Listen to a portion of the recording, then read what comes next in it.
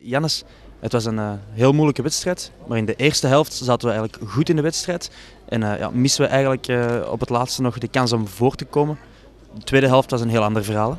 Ja, ik denk het ook. ik denk dat we in de eerste helft goed meevoetbalden met Moes Kruin. ook enkele kleine kansjes gekregen.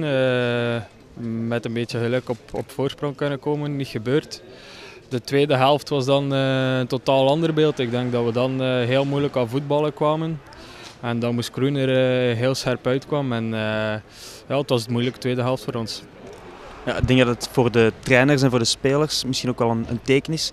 Uh, eerst geel, dan Eupen, nu moest Kroen. Ja, hoe goed Antwerpen ook is van kwaliteit in de kern, door de Belgacom League, daar wals je niet zomaar doorheen. Hè? Ja, nee, daar was je inderdaad niet zomaar doorheen. En zeker niet uh, met 18 nieuwe spelers. Er zijn veel jongens die de competitie niet kennen.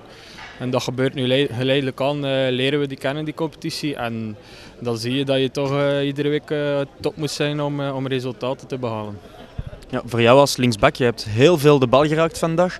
soms frustrerend vaak, denk ik. Hè? Dat, dat, dat, je met heel de ploeg maar moeilijk kan doordringen tot, tot in verdediging van Moes Kroen. Ja, eh, Moes Kroen was een stevig blok, verdedigend gezien dan, en eh, waar we moeilijk doorgeraakten.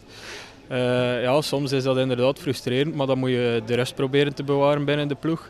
En uh, al voetballend aan kansen te, te komen. En in de tweede helft uh, is dat niet zo goed gelukt vandaag.